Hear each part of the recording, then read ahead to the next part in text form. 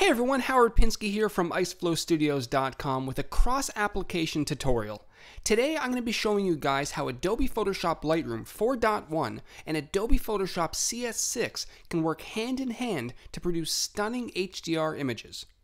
In the past, I would typically use one or the other, Lightroom with a plugin, or directly merge the photos to Photoshop's HDR Pro. So if I could only use one application in the past, why the heck would I want to use two? Well, there's a very good reason 32 bit editing. With Lightroom 4.1, we now have the ability to edit 32 bit HDR images, which eliminates the need for an external plugin, and you're more likely to end up with a much more natural result. Let's go ahead and take a look. So, here in Lightroom, I have three images which I took at Oxford University. As you can see, each image has been taken at a different exposure to capture the shadows, the midtones, and the highlights, which a single image simply cannot do. I'm only working with three images, but if you want an even higher dynamic range, you can easily use five brackets if your camera supports it. So with all three images selected, I'm going to right click on any of them, go to Edit In, and then select Merge to HDR Pro in Photoshop, which has been there for a while. At this point, Photoshop will spring into action and start the process of not only combining the three exposures, but it will also attempt to line up the images. Sometimes, especially if you're like me and don't use a tripod, don't tell anyone, your photos may be slightly misaligned. Lining them up will give you a much cleaner result. And here's the HDR Pro window, which many of you may be familiar with. But instead of going through all the sliders to create a 16 bit HDR image, we're actually going to switch it over to 32 bit here at the top. This will simply merge all three of the images and the data, allowing us to bring it back into Lightroom and use all the wonderful adjustments that Camera Raw has to offer, which again should give you a much more natural result than HDR toning would. Now don't worry too much about the white point slider at the top, it's simply there for preview purposes. I'll click OK to finalize the merge, which could take a few minutes depending on your computer and the amount of exposures that you're working with. And once the merge is complete, all you need to do is save. A simple Command or Control S will pop your new 32-bit image in the same location that the other images are stored. Let's hop back over to Lightroom where our new image should be waiting for us. And there it is. From here, you can use the same adjustments that you've been using previously, but because we have a 32-bit image made up of three exposures, there's a ton of data to work with. Take a look as I increase and decrease the exposure.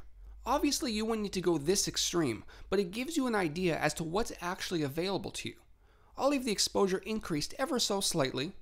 I'm going to dump the highlights to get rid of some of the unnecessary bright areas and then I'm going to increase the shadows to allow us to see into some of the more shaded areas of the photo. And of course, what's an edit without increasing the clarity? This will increase the contrast of your midtones, which looks great on textures such as bricks and stone.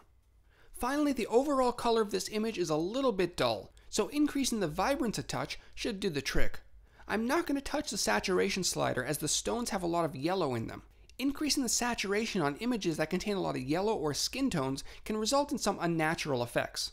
Sliding down the Develop module, the Selective Adjustment tool is also available to us. I love this tool. You're able to selectively adjust the hue, saturation, and luminance of any part of your image.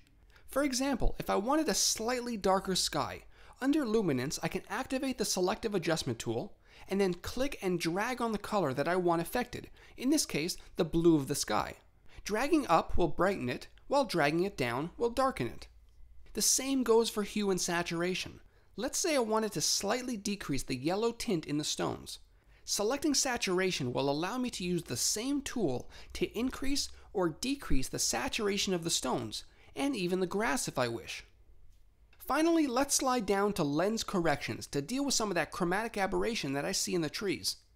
Also new in Lightroom 4.1, I can use the fringe color selector to sample any blue or green fringes that may be present, and then adjust the sliders if necessary. And that should complete the edit. Let's take a look at the final result in comparison to the original images. We started with an overexposed image to capture the shaded areas of the scene an underexposed image to capture the lighter areas like the roof of the building, and a neutral image to capture everything in between. And merging all three images into a 32 bit HDR file and performing some pretty basic edits, we're left with a beautiful photo that captures a range that's more true to what the human eye sees. So even though it may seem more convenient to use only one application, utilizing all of your resources can leave you with a much more desirable result. If you want to catch more tutorials just like this, check me out at iceflowstudios.com. Take care.